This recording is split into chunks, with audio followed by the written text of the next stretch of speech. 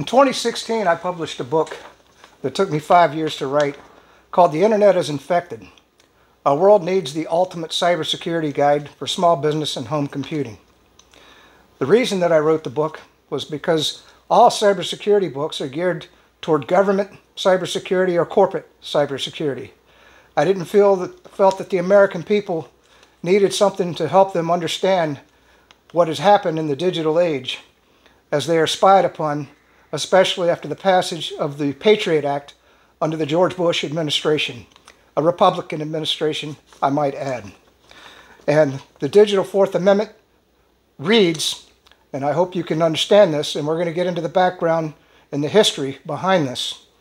The right of the people to be secure in the digital communication devices and data against collection, dissemination by slash to third parties or government shall not be violated, and no warrants shall issue, but upon probable cause, supported by oath or affirmation, and particularly describing the device to be searched, the data to be seized, and the persons or property affected.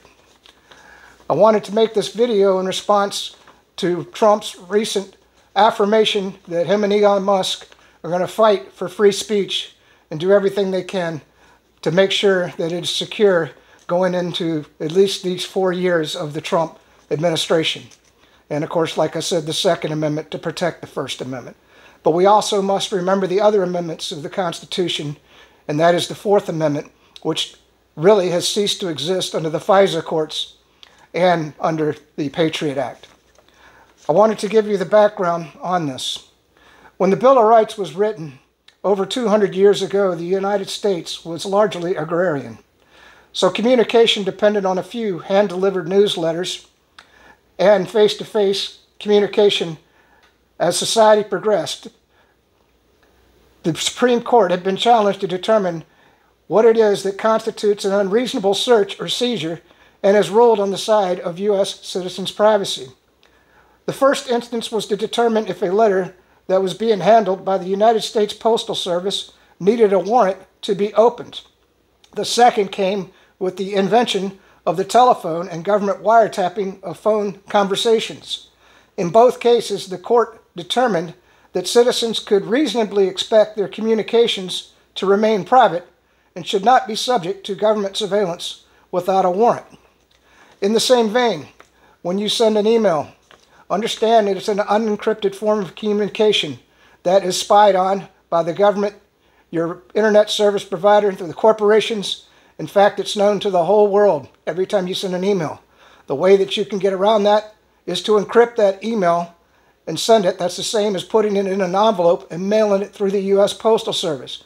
Most people don't understand this, and most people don't do this. In fact, I know of very few. There are also encrypted email servers that you can use. And of course, my book in 2016 taught about all these things. And you might say, well, why didn't people buy your book? Well, I ran out of money. I couldn't market it.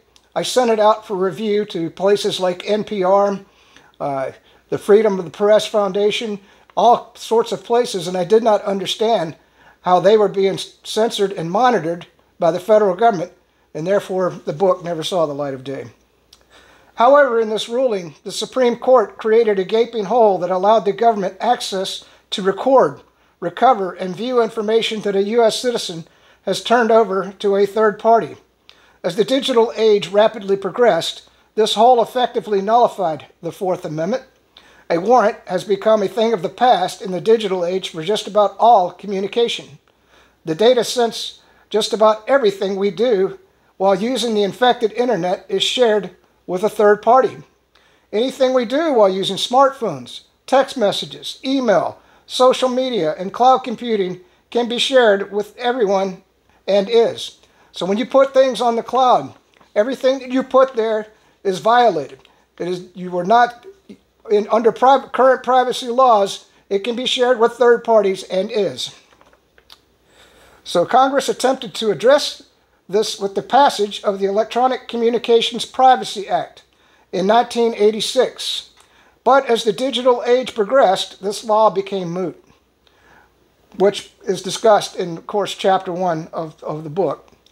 The current just for a lot of people that don't know what the Fourth Amendment is, the current Fourth Amendment reads The right of the people to be secure in their persons, houses, papers, and effects against unreasonable searches and seizures shall not be violated, and no warrants shall issue but upon probable cause supported by oath or affirmation, and particularly describing the place to be searched and persons or things to be seized.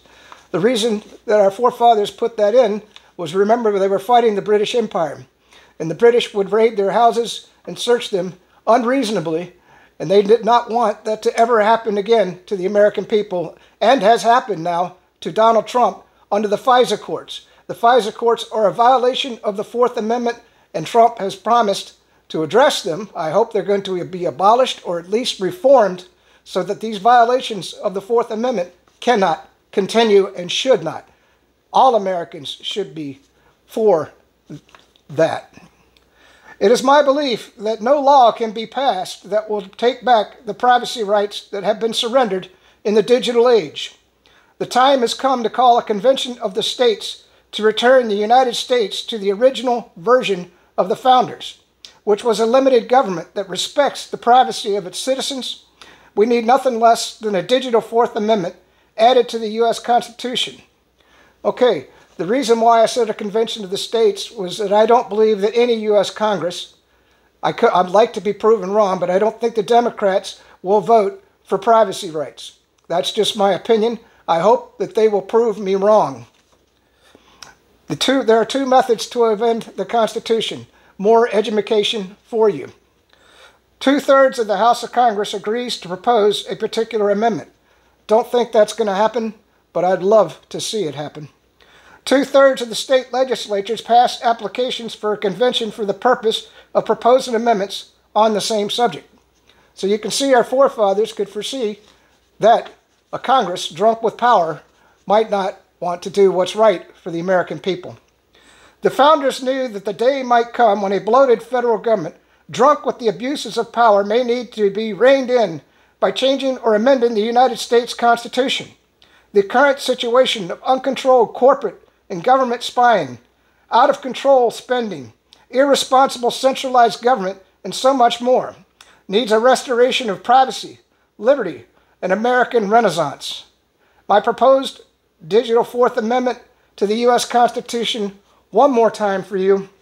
The right of the people to be secure in their digital communication devices and data against collection, dissemination by and to third parties or government shall not be violated, and no warrants shall issue but upon probable cause, supported by an oath or affirmation, and particularly describing the device to be searched, the data to be seized, and the persons or property affected. So, in other words, a smartphone can be searched only when a warrant is issued. These are the things that we need to protect us in the digital age. May God bless you, and may God bless America.